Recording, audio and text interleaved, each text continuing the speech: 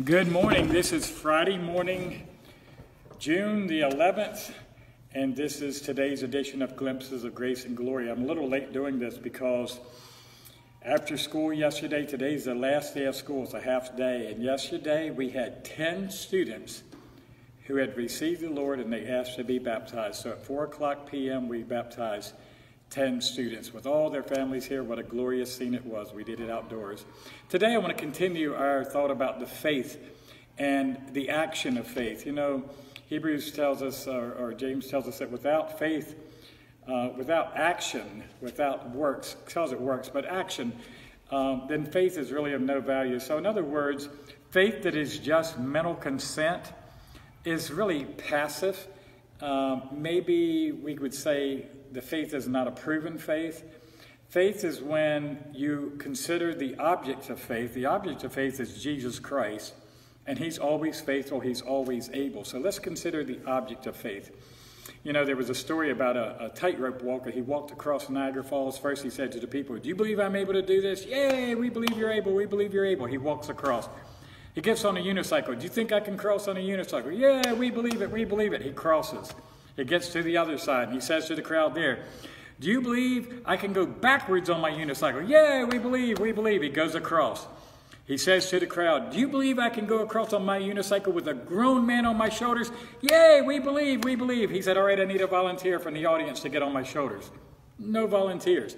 So the words are there, the mental consent is there, but to actually step out and to know that, hey, this is my life I'll bet my life that this is true. Well, you can bet, you can bank on Jesus' faithfulness, that you can put your life on the line because he is always faithful.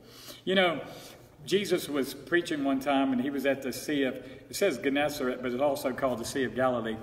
And he wanted to talk to the people. And when there's that many people thronging you on the beach, uh, it's a little hard. So he asked, he got in Simon Peter's boat and he said, Would would you move out a little bit and let me talk? Because uh, I don't know if you ever went fishing at a lake, but you can be whispering around a lake early in the morning. People are fishing. You can hear all the way across the lake. So Jesus, of course, knowing this, since he created all things, he was preaching the gospel from Peter's boat. And when they were finished, as a thank you, he said to Peter, launch out into the deep and let down your nets for a draft. And Peter said, Master, and now Peter's a professional, fish, professional fisherman, so were James and John, who were in a nearby boat. He said, Master, we worked all night long, dropping that net, pulling the net, dropping the net, pulling the net, and we caught nothing. Nothing. And you're saying, let down the net again. We already cleaned our nets. Nevertheless, at your word, I'll let down the net. At your word. Everything's impossible. We've already proven. We've put forth 100% human effort by people who really know what they're doing. And all our wisdom and all our efforts were totally fruitless. They were came to nothing.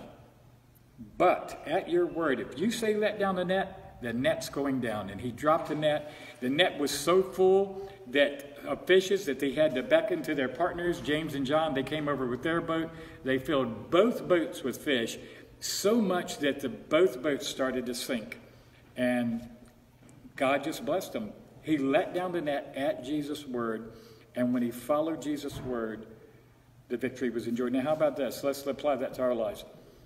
I prayed about this every day. I prayed for the supply of my needs every day. I've prayed about this condition at work every day. I've laid hands on the sick. I've prayed for this healing. I prayed for this victory in my family. I've prayed for overcoming power.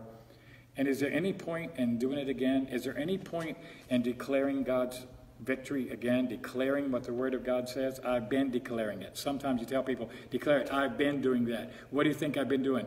365 days this year I declared it, and still nothing?